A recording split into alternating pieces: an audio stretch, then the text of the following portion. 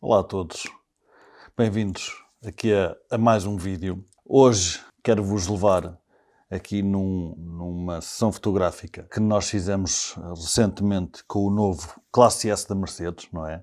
O, a Mercedes, o, foi uma sessão que fizemos uh, em Coimbra, estava um dia de chuva, o que eu pessoalmente acho que é ideal para fotografar um carro, especialmente em zona de cidade, e quem conhece Coimbra, zona histórica e tal, acho que fica brutalíssimo. O carro fica cheio de detalhes, fica cheio de uh, reflexos no chão. Uh, há muita coisa que a chuva uh, ajuda. O que não ajuda é o fotógrafo fica todo molhado, mas tirando isso, acho que ajuda em muita coisa, honestamente.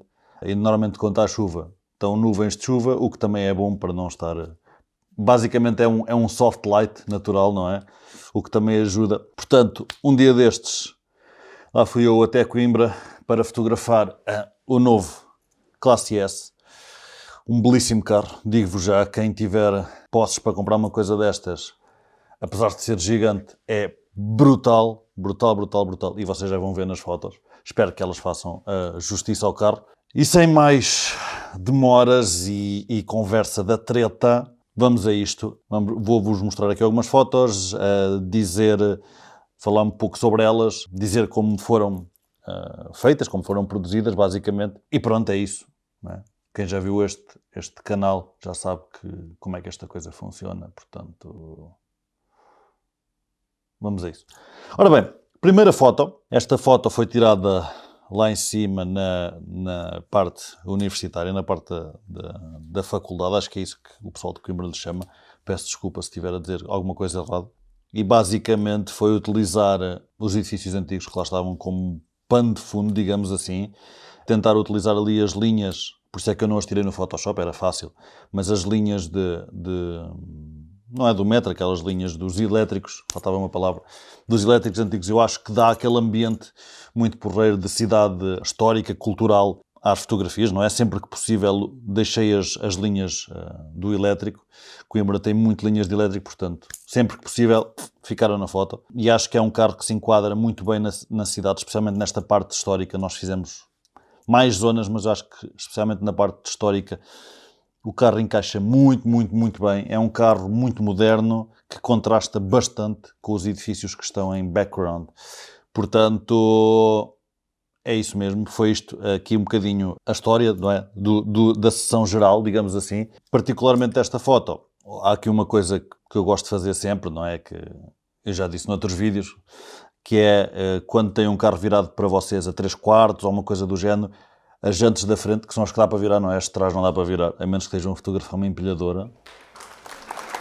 Uh, as da frente que dá para virar, normalmente virem para o fotógrafo ou, ou não digo totalmente, tipo ficarem completamente na, na, no plano, mas tipo 80% no plano. Eu acho que é muito engraçado, dá para ver eh, os detalhes das jantes, dá para ver, eh, neste caso, como as jantes são muito abertas, dá para ver os travões, dá para ver muitos detalhes que eu acho que chamam à fotografia. Foi isso um bocadinho que fizemos aqui nesta foto, o carro parado no meio da estrada, tudo em segurança, sempre em segurança a chover, não dá para notar muito bem, porque eu aqui também quis eliminar um bocadinho uh, a chuva à frente, não quis tapar o carro com a chuva, mas quis ir buscar os detalhes dos pinguinhos no carro. Portanto, uh, a velocidade do obturador alta, ou rápida, melhor dizendo. Eliminei a chuva, basicamente. Uma foto tirada encostada ao chão ou perto, eu acho que funciona sempre muito bem quando é ao longe. Uh, ao longe, com o carro a encher 3 quartos do frame, como está nesta foto, acho que funciona muito bem, especialmente se tiverem um chão padronizado, não é? Com um padrão, como é uh, este chão. Bem, vou passar aqui à próxima, senão nunca mais acabamos isto, que ainda tenho algumas fotos para vos mostrar. A próxima é de uma zona perto da zona inicial, é uma foto mais escura, uh, propositadamente, Aqui o objetivo foi dar destaque aos faróis e ao reflexo que eles iam criando na estrada, como se pode ver. Como a estrada estava cheia de poças e molhada, fazia este efeito que eu considero bonito, honestamente. E estava assim um céu escuro, o que deu assim um ambiente muito, muito giro. Digamos que a envolvência ficou toda a ajudar um pouco. Aqui ainda pus em questão tirar aquela placa atrás, mas eu acho que, como faz parte do ambiente, não me pus a isso. Aqui a parte direita podia ter sido toda limpa, mas eu, honestamente, foi uma escolha criativa. Optei por não o fazer. Acho que dá ao ambiente, é assim que aquilo é na, na, na realidade e não acho que esteja distrator, não é? Não acho que distraia honestamente da fotografia. Acho que aqui os faróis captam logo a atenção uh, de quem está a ver. Se fosse uma fotografia que eu tivesse editado de outra maneira, por exemplo, uma fotografia de sunset, tudo amarelado, o azul da passadeira já ia contrastar e eu aí tirava uh, pelo menos o sinal, mas aqui como é o azul do sinal com o azul do tempo de chuva, com a edição que ainda foi posta assim, eu chamo-lhe cold, não é? Uma edição cold com cores muito azuladas, cortar nos amarelos e baixar assim um bocadinho a exposição. Acho, acho que até encaixa ali bem, portanto optei, optei por não tirar e acho que ficou uma fotografia muito engraçada. Passando aqui à próxima, é no mesmo sítio, mas com a lógica da primeira. E aqui optei por tirar uma foto mesmo, mesmo baixa para o quarto, quinto, o sexto embaixo na foto ser ali um, um, uma poça.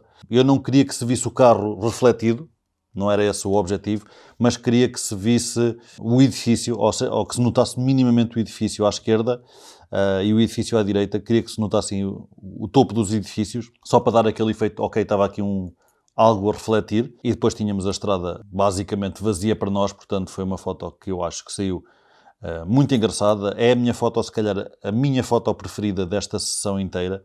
Acho que o carro ficou fantástico, estava com os pinguinhos todos no sítio, on the point, os reflexos no carro, a luminosidade que estava no dia, ou no, no momento, melhor dizendo, no momento, a posição, ficou tudo, para mim, top. Esta foto ficou muito, muito boa. Gosto muito desta fotografia. Passando aqui à próxima, já é um panning com o carro em movimento, perto uh, dos arcos, em Coimbra. É tudo em Coimbra. E aqui, basicamente, eu gosto desta foto porque Gosto do motion blur que está na parte da frente do carro, mas gosto que a parte traseira tenha ficado mesmo, mesmo, mesmo sharp e que dá para ver os detalhes todos. Nem sempre se consegue, não é? Em movimento às vezes é difícil de captar o que se quer, eh, especialmente quando nós o fotógrafo, estamos parados, quando estamos em movimento em conjunto com o carro é mais fácil, quando estamos parados é, é, mais difícil, por norma só uma secção do carro é que fica mesmo, mesmo sharp, mas eu acho que aqui funciona muito bem, gosto, gosto do fundo, a ver-se os arcos, gosto que esteja o motion blur quase a desfazer aqui certos elementos como os pinos que estão ali à frente do carro, gosto que tenha desfocado completamente a estrada. Ela tem muitos detalhes, não é? é uma estrada de, de paralelos antiga. E gosto do efeito das jantes. Acho que ficou uh, muito engraçado e acho que passa bem uh, a elegância do carro, não é? Que era isso que eu queria passar nestas fotografias de panning, a elegância em movimento, não é? E pronto, acho que é isso. Passando aqui à próxima, é outro panning shot, mas muito mais perto. Aqui optei, ou escolhi por fazer panning muito mais perto. Não é algo que eu me sinta muito confortável em fazer. Não funciona bem com todos os carros, não funciona bem em todos os cenários, não funciona bem com todas as máquinas. É, é uma situação que opto por não fazer só quando eu vejo que, ok, neste caso o carro tinha imenso detalhe, especialmente o carro tinha imenso detalhe, vou refrasear, o carro tinha imenso detalhe porque o carro tinha imenso detalhe e ainda tinha mais detalhe porque tinha os pinguinhos todos da chuva a ver-se, não é? E então optei por fazer um panning, mas mais perto podia correr mal, eh, e houve fotos correram mal, obviamente, não foi a primeira nem a única que eu tirei, mas podia correr mal em não apanhar nenhuma em que os pinguinhos ficassem mesmo sharp. Eu estou aqui a ver e os pinguinhos ficaram mesmo top. Infelizmente no vídeo vocês não, não vão conseguir ver isto, especialmente por causa da compressão e porque não conseguem fazer zoom. Mas até se vê na zona do pneu. Primeiro dá para ler Mercedes-Benz perfeito no travão, o que logo aí dá para ver que a foto ficou sharp no sítio que eu queria e depois dá para ver a, a turbulência da chuva perto do pneu, que é uma coisa muito engraçada. Dá para ver pingos a ir para os lados, para a frente, para trás. Ou seja, o, o, o tempo de panning, ou a velocidade do obturador neste panning, honestamente devia ser 1 sobre 40, se não estou em erro. Deu para fazer com que ficassem os pingos todos, uh, primeiro porque estava a chover, ficaram todos na diagonal, eu estava-me a mexer, não é? Portanto, os pingos ficam na diagonal, faz sentido. E depois ainda ficaram os pingos todos revoltados à volta do pneu que levantava a água do chão e tudo. Ficou muito engraçado. E agora na próxima foto, como se pode ver, é, eu escolhi esta foto especificamente porque estava a passar numa poça e ia levantar água e eu acho que ficou fantástico.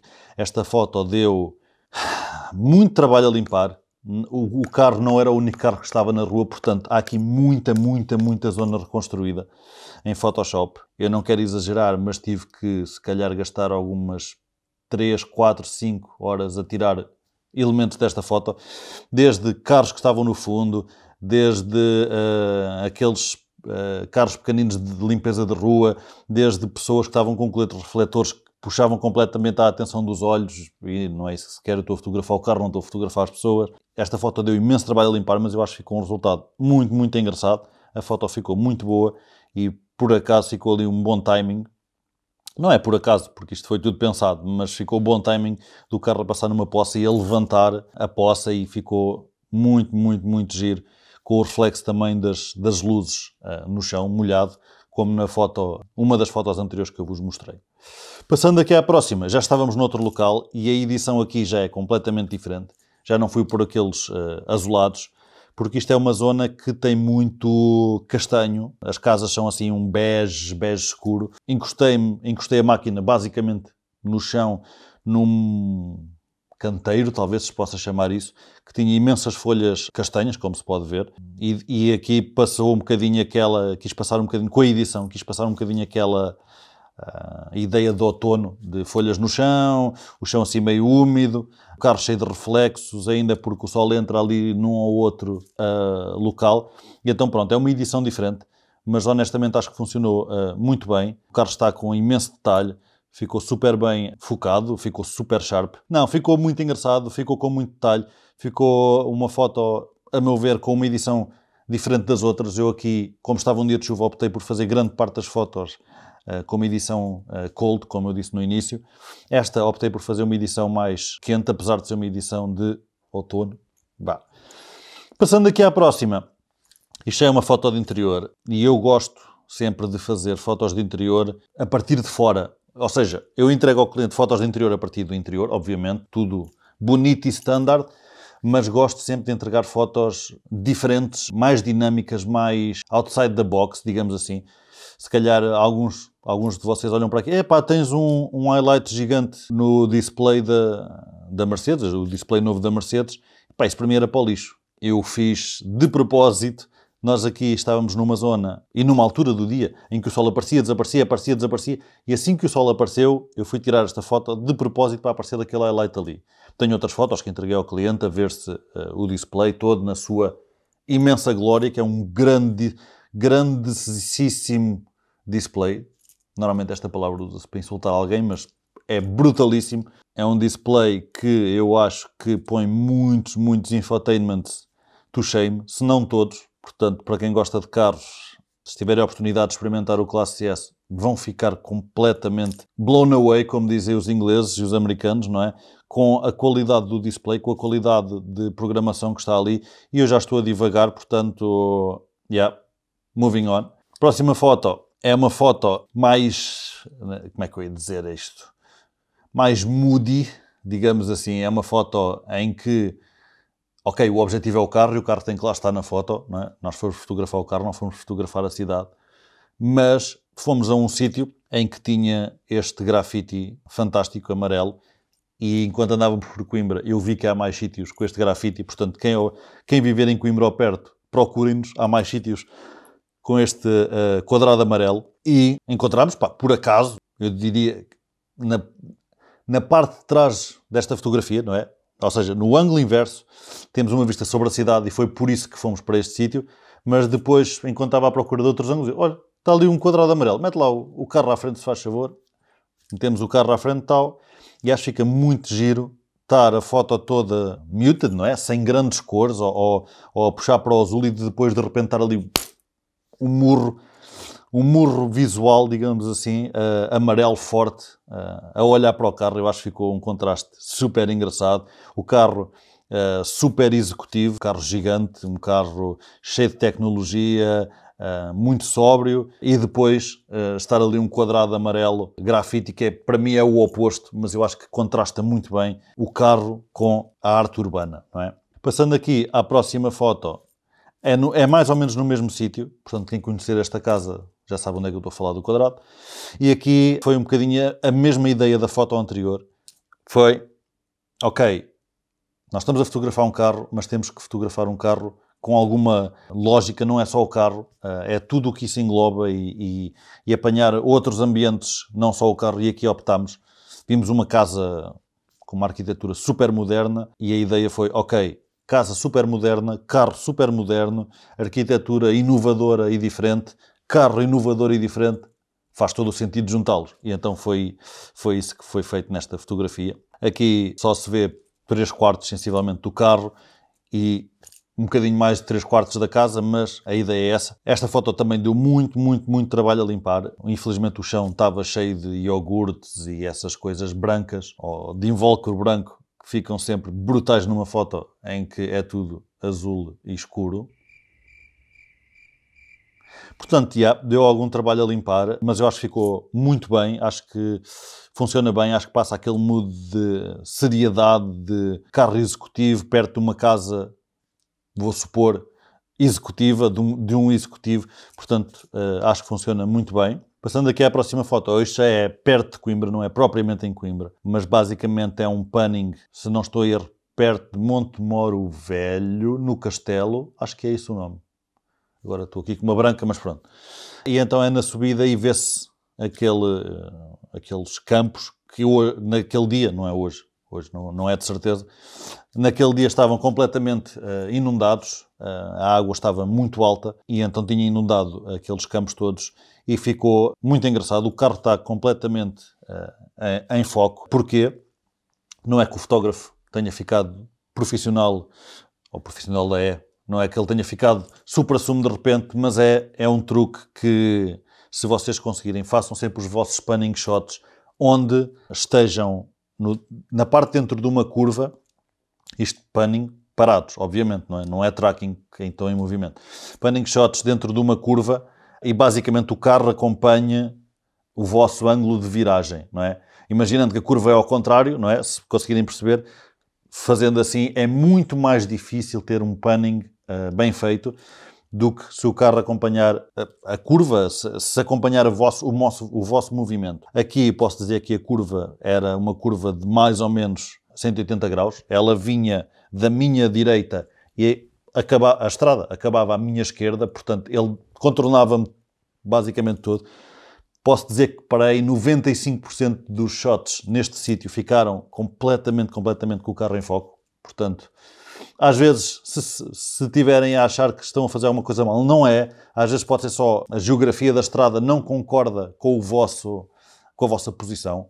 Ponham sempre na parte dentro da curva. É uma dica um bocado óbvia, talvez, mas às vezes passa, não é? Quando estamos no terreno e a, e a, a correr para tirar aquela fotografia, enquanto o tempo está bom, enquanto estão nuvens, enquanto não chove, enquanto não há trânsito, blá blá blá, às vezes passa um bocadinho. Mas lembrem-se disso da próxima vez que quiserem fazer um panning shot, metam-se no meio da curva.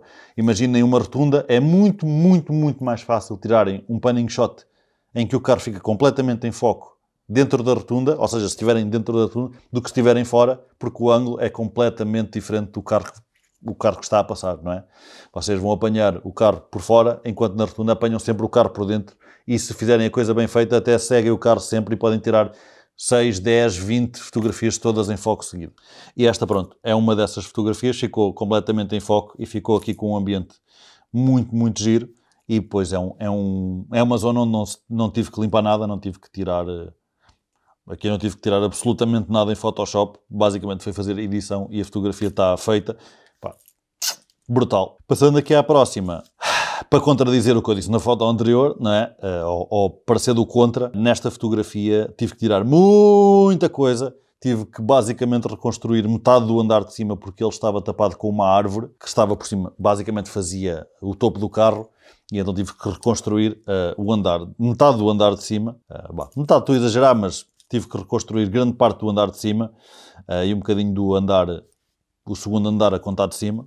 Mas é uma foto que eu acho que fica muito gira, não porque seja uma foto extraordinária, mas porque eu acho que o carro encaixa muito bem no tipo de arquitetura que está atrás. É uma arquitetura, eu não sei se é arquitetura moderna, mas é uma arquitetura trabalhada, não é? Nota-se que tem, que tem trabalho. É uma zona nobre uh, da cidade de Coimbra e, e, tanto eu como o rapaz que ia comigo uh, da Mercedes achámos que faz sentido um carro destes, com o price point que tem, uh, ser fotografado numa zona nobre uh, da cidade, não é? Pode não funcionar tão bem em termos de, ei, bela fotografia, pode ser se calhar um bocadinho mais fraca, mas fazia sentido para a sessão tirar uma fotografia nesta zona e pronto, e foi o que aconteceu. Tiramos mais do que uma, obviamente, estou-vos aqui a mostrar apenas uma, mas tiramos mais do que uma. Basicamente foi essa a lógica uh, em ir para este sítio lá está, foi mais uma fotografia que demorou se calhar 4 horas, 3 horas uh, a editar, não só a correção de cores, não só pôr o mood certo e depois ainda ter que tirar eh, a árvore e construir o andar de cima, portanto. Isto às vezes não é tão fácil quanto parece, porque a arquitetura ou a construção das cidades não ajuda, portanto, às vezes, por cada foto boa que vocês tiram que não tem que limpar nada, há três ou quatro que vão passar se calhar uma hora a tirar, portanto, faz parte. Passando aqui à última fotografia. Epá, é uma fotografia super standard do, do stand da Mercedes em Coimbra. E aqui não tem grande ciência. O que eu optei por fazer em termos de edição foi fazer um ligeiro mute uh, às cores. O que é que eu quero dizer com isto? Uh, basicamente, imaginem como tirar a saturação um, pouco e tirar o contraste. Ou seja, não fica tudo tão punchy, não é? Uh, não fica tudo tão forte, mas eu acho que com este carro, com o Classe S, não é? Como se pode ver, fica muito mais, uma fotografia muito mais um, enquadrada, digamos, no, no carro que é, no ambiente que é. Uh, portanto, acho que fazia sentido. Aqui optei por não tirar nada, nem o símbolo da Smart lá atrás acho que faz parte do stand. É assim que as pessoas, quando vão ao stand, vão ver o stand. Optei por não limpar uh, nada. Eu aqui minto. Sempre que há um reflexo num carro destes, não é? Preto, especialmente preto, em que o fotógrafo está muito perto do carro, há sempre uma coisa que tem que se tirar, que é o reflexo do próprio fotógrafo. Mas pronto, eu estou a dizer, em termos de ambiente, não tive que tirar nada. E eles tinham dois classe S, são dois classe S diferentes. Não é o mesmo carro, ou melhor, é o mesmo carro, mas não é o mesmo carro, apesar de parecer. Não foi aqui um truque de Photoshop, que não era muito difícil de fazer, era só tirar duas exposições e fazer o corte, mas não, não foi isso que, que fiz. Estavam lá mesmo dois Classe S, o que foi ótimo para esta parte final da, da, da sessão fotográfica dentro do stand. E pronto, espero que tenham gostado das fotografias. Eu gostei, gostei muito. É, é um, é um, um ambiente que eu gosto muito de fotografar. Automóveis à chuva, para mim, é é sempre uma vitória. E automóveis à chuva e nas ruas uh, históricas, uh, culturais, nas ruas de Coimbra, vou dizer assim, é? nas ruas de Coimbra, para mim foi uma sessão super ganhadora. Não tenho, não tenho nada a dizer. Já disse ao pessoal da Mercedes, apesar de eu ser de Leiria e estar baseado em Leiria, sempre que puder, deixem-me fotografar a Coimbra porque realmente é muito mais fácil com os ambientes que tem. Cria, cria uma atmosfera diferente, eu acho que fica muito mais interessante nas fotos. E pronto, é um bocadinho isso. Também não vou alongar muito mais, já devem estar a ouvir um barulho de fundo que, pronto, não é uh, de todo agradável. Eu vou fazer assim, que é para não se ouvir. Vou tapar. Estou a brincar. Pronto, espero que tenham gostado. Se tiverem alguma questão, uh, como é que eu fiz alguma das fotografias, uh, se tiverem alguma sugestão, olha, faz assim, faz assado Uh, deixem nos comentários, é sempre bom partilhar ideias, ouvir o que é que outras, neste caso ler, o que é que outras pessoas pensam, como é que uh, veem a minha fotografia, não é? A fotografia que eu produzo para estes uh, clientes. É sempre bom ter feedback, especialmente construtivo. Pá, se não for construtivo, guardem-no para vocês. Pá. Se for só para mandar umas bocas, é pá, esse carro não presta. É, ok, está bem, mas, mas pronto, não é? Está bem? Uh, não, mas uh, construtivo, venha ele. E pronto, mais uma vez, obrigado por terem visto o vídeo. Se gostaram, façam like, façam um subscribe e fiquem atentos ao próximo. E tenho que arranjar uma catchphrase aqui para o final do vídeo, para que isto é miserável. Até à próxima.